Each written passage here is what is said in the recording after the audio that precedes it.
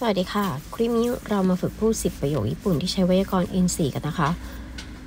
เป็นประโยคแบบง่ายๆนะคะ มาฝึกกันทีละนิด แล้วก็ช้าๆ ไปพร้อมๆกันเลยค่ะโมทาเบมาชิตะกะคุณกินแล้วหรือยัง โมแปลว่าแล้วทาเบมัสนะคะ เป็นรูป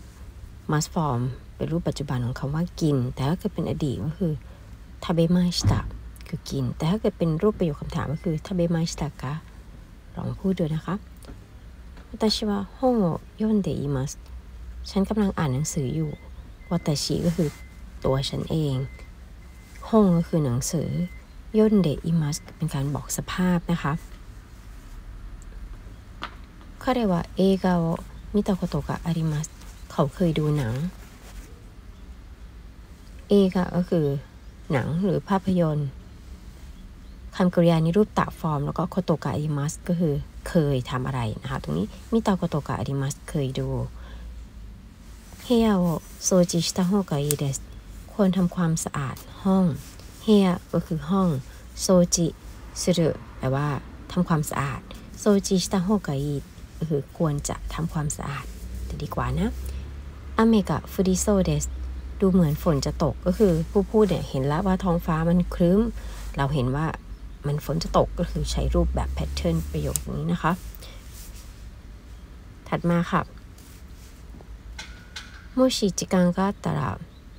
一緒に行きましょうถ้ามีเวลาไปด้วยกันเถอะโมชิก็คือถ้าจิกังก็อารุก็คือมีเวลา แต่นี่คือเป็นรูปแพทเทิร์นโมชิก็ต้องใช้รูปตาราเนาะโมชิจิกังกาตาราอิชุนอิคิมาโชถ้ามีเวลาไปด้วยกันเถอะ ถัดมาค่ะ 私は昨日友達に会いましたเมื่อวานฉันเจอเพื่อนคิโนแปลว่าเมื่อวานโทโมดาจิคือเพื่อน พบนะหรือเจอนี่ก็นิไอมัสนะคะนี่เป็นอดีตคือนิไอมาสตะถัดมาค่ะเฮียกะคิเรนินาริมาสตะห้องสะอาดขึ้นแล้วเป็นการบอกสภาพการเปลี่ยนแปลงนะคะว่า จากที่ห้องที่แบบอาจจะสภาพยุ่งเหยิงสกปรกก็กลายเป็นสะอาดตรงนี้นะคะ 彼は日本語を話すことができますเขาพูดภาษาญี่ปุ่นได้ เป็นการบอกความสามารถเป็นรูปสามารถนะคะ คือคำกริยาในรูป dictionary form แล้วก็ตามด้วยโคโตกะ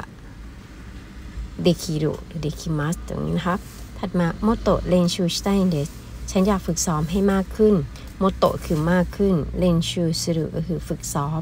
ก็คือเรนชูสไตก็คืออยากจะฝึกซ้อมหรืออยากจะฝึกฝน ต ตรงนี้คำว่า もっと ก็คือมากขึ้น เราสามารถเรียนแบบประโยค แล้วก็ลองไปพูดดูเปลี่ยนแปลงคำกริยาดูนะคะ ยังไงพบกันใหม่ขอบคุณค่ะ